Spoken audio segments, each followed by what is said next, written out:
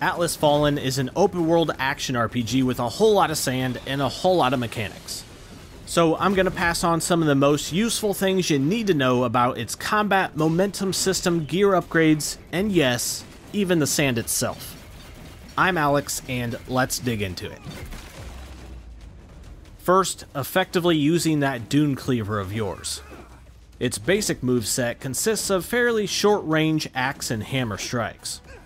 At medium momentum, the attacks are a little bit slower, but the Dune Cleaver physically grows in size, extending the reach of all of those attacks.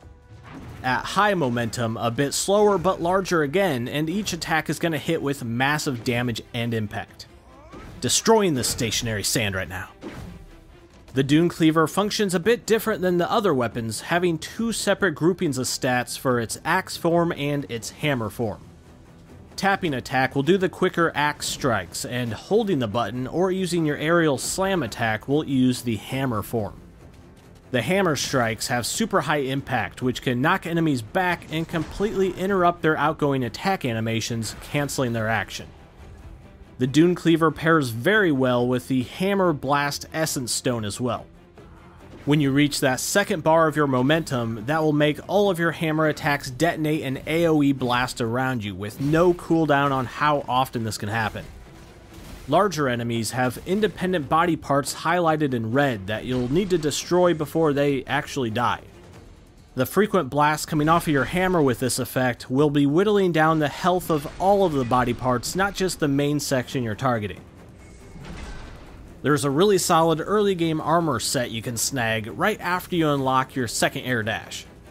As soon as you can cross the broken bridge gap to the west, go to this location. You'll find a side quest there from this lady that got Amazon Prime the wrong top. Lucky for us, it's exactly our size. With her side quest set as your active quest, down on the D pad will highlight the five little golden book thingies you'll need to complete this quest. Head back to her and turn those in to receive the Scout's Armor set. Compared to your starter armor, every base stat of this is higher, with a focus on the offensive stat. You can upgrade this set three times to boost its stats and unlock its unique armor trait, which reduces the cooldown of all of your equipped active abilities. Also, to activate its additional stat bonus, equip just two Momentum Essence Stones onto your bar. The light blue colored ones will be momentum based, and after you have two of those on, you will unlock the additional 9 extra offense, putting this armor set at 51 total offense when it's maxed out. Early game, this is a lot of extra damage output. The best ways to use your Sand Whip. The basic moveset of this weapon consists of wide sweeping whip attacks. At medium momentum, the whip starts looking a little bit more like a sword, with larger attacks that reach even further. At high momentum, it pretty much is a big old sword that launches shards with each attack, creating a damaging circle of joy around you. The Sand Whip is low in impact, but has the highest momentum gain. This makes it the ideal weapon to initiate combat with, to quickly build up momentum and power your higher damaging abilities. It's also very effective for aerial combat and gives you one of the best mobility options. Holding down the attack button will hook you over to an enemy if they're within reach, and out of this, you attack with this faster dagger-like moveset. This is great for closing the distance and building up momentum with that faster sequence of attacks. Since the Sand Whip is probably going to be your main momentum builder, I recommend socketing momentum gaining essence stones like Momentum Alliance and Unstable Generation at the very far left of your momentum gauge. That'll ensure that you're building up bonus momentum right at the start of a fight and all throughout it. This lets you access your other active abilities earlier and get you to that highest level of your shatter attack faster as well. Each time you upgrade an armor set, you'll gain a perk token. You'll want to acquire as many of these as soon as you can.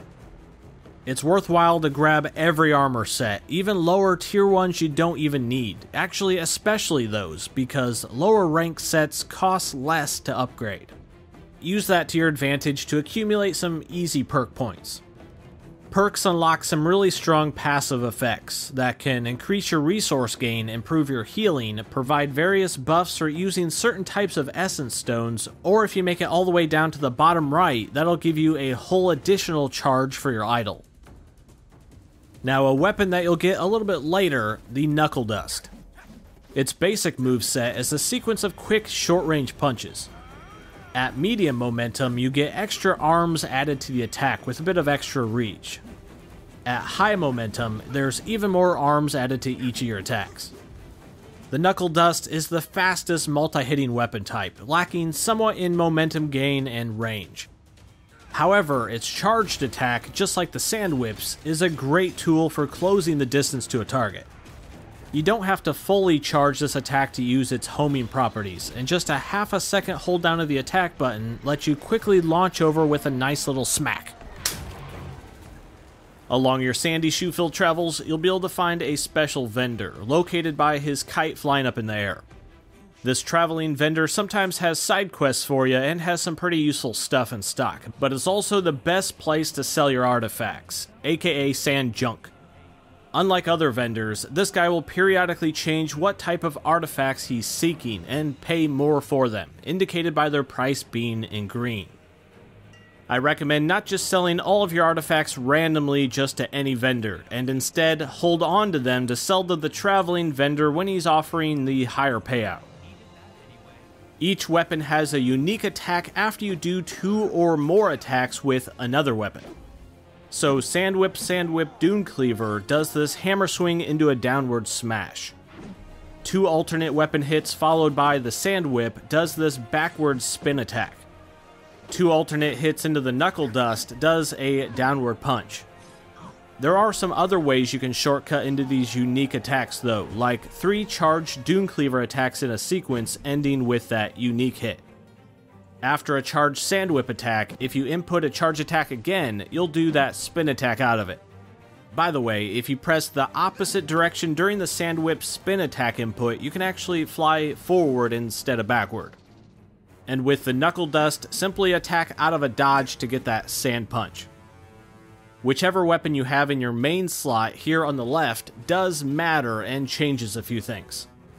For one, the main weapon will dictate the attack sequence used for your launch and slam attacks. This attack button has two main purposes, easily sending you up into the air to start a combo or to slam downward, which can also pop enemies out of hiding if they're buried underground. A good thing to pair with this move is the Fractured Field Essence Stone. With a 20 second cooldown, every slam attack you do will create an area of damaging projectiles that can add some nice extra DPS. The other thing that your main weapon slot dictates is your momentum expending Shatter attack. The Dune Cleaver Shatter attack at high momentum will do this giant double hammer strike when it's set as your main weapon.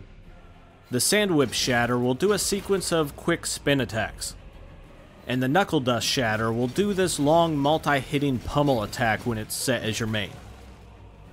Now a little bonus thing that could be maybe missed or just forgotten. In your bestiary, be, bestiary? Beast, I've said that too many times.